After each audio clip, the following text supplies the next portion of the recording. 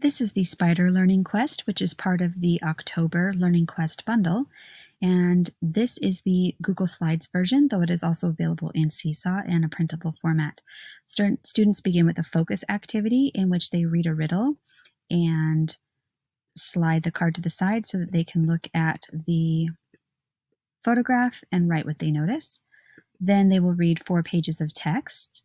These have pre recorded audio, so the students can listen to this being read to them, or teachers can take that option away and the students can read it themselves.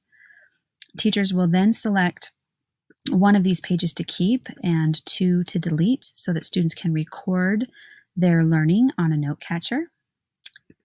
The next activity is for students to practice matching definitions with vocabulary words from the text.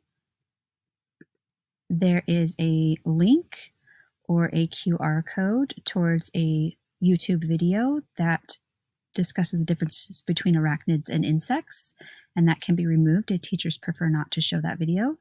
The students will study parts of a spider and then do a matching activity where they will draw lines to match the parts of the spider to the word given.